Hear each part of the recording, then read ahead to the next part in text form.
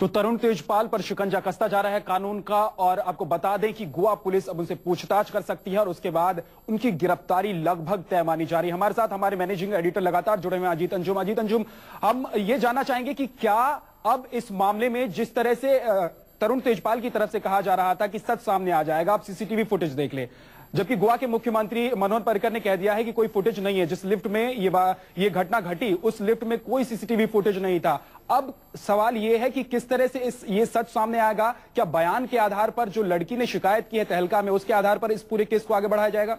देखिए जो खबर आ रही है कि उस होटल के उस लिफ्ट में जिस लिफ्ट में दो बार ऐसी घिनौनी शर्मनाक हरकत तरुण तेजपाल ने उस लड़की से की उसमें कोई सीसीटीवी नहीं है। शायद यही वजह है कि तरुण तेजपाल कल से कह रहे हैं कि सीसीटीवी फुटेज निकलवा लो जाँच हो, और उससे दूध का दूध पानी का पानी हो जाएगा। लेकिन जो पुलिस सूत्रों के हवाले से भी खबर आ रही है कि उसमें सीसीटीवी नहीं है। लेकिन उस लड़की के छह पेज का बयान बयान कहें इसलिए क्योंकि वो मेल है वो उसको पुलिस बयान के तौर पर ले सकती है क्योंकि छह पेज में पूरा वाक्य का ज़िक्र है और साथ में कुछ एसएमएस टेक्स्ट मैसेजेज जिसमें उस लड़की ने तरुण तेजपाल के रवैये पर एतराज़ जता के तरुण तेजपाल को मैसेज किया है। तरुण तेजपाल ने मैसेज को रेस्पॉन्ड किया है। कई टेक्स्ट मैसेजेज हैं लड़की का ईमेल है और पूरी बात जो लड़की ने सिलसिलेवार ढंग से लिखी है वो सबूत है। पुलिस जब उनके घर जाएगी हो सकती है लड़की बयान दर्ज कराए और मुझे लगता है आने वाले समय में ये होगा। इसलिए तरुण तेजपाल के खिलाफ प्रथम दृष्टिया काफ़ी सबूत है कि उनका बचना पूरी तरह से नामुमकिन है और सबसे बड़ी बात।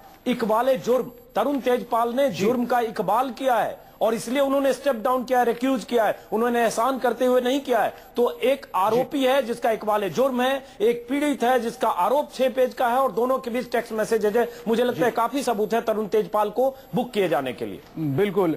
तरुण तेजपाल की गिरफ्तारी की संभावना बहुत ज़्यादा बढ़ गई है। सीधे एक बार रुक कर लेते हैं हमारे संवाददाता विनोद मिश्रा हमारे साथ जुड़े हुए विनोद क्या गोवा पुलिस पहुँच चुकी है और क्या कुछ चल रहा है? बिल्कुल कुछ देर पहले जब हमारी बात हुई थी गोवा के डीजीपी से का कहना था कि जो टीम है गोवा पुलिस की वो दिल्ली पहुँचने वाली है। ग्यारह बजकर दस मिनट वक्त था फ़्लाइट का लैंड होने का दिल्ली एयरपोर्ट पे। तो संभव है कि दिल्ली एयरपोर्ट पे जो गोवा पुलिस की टीम है वो पहुँच गई होगी। चूँकि तरुण तेजपाल अपने इस जंगपुरा के आवास पे नहीं है तो संभव है कि पुलिस सबसे पहले उस ऑफ़िस में जाए जो जीके टू मिनट ऑफ़िस है तहलका का। क्योंकि तो पुलिस, जब मैंने पूछा था सवाल ये तमाम जगहों